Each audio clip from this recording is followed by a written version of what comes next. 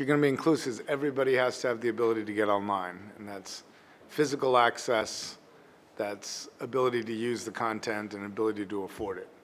Um, And I think those are the three key things, and we're, we're pretty far away from all three of those at this point.